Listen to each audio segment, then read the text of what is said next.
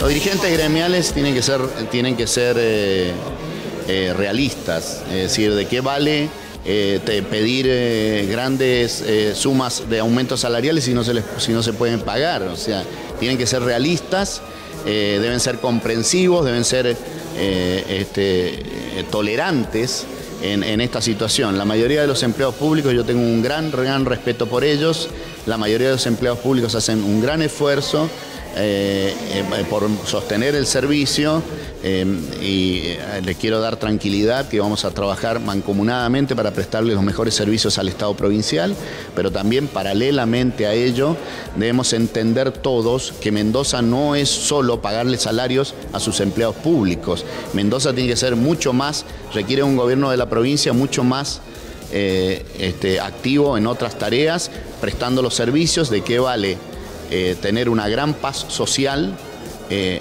este, con los dirigentes gremiales si después no hay insumos en los hospitales, ¿no? Para poder cumplir con los servicios sanitarios de salud. Entonces tenemos que ser equilibrados en los reclamos, muy tolerantes y, tener un gobierno responsable que administre lo mejor posible el, el salario, ¿no?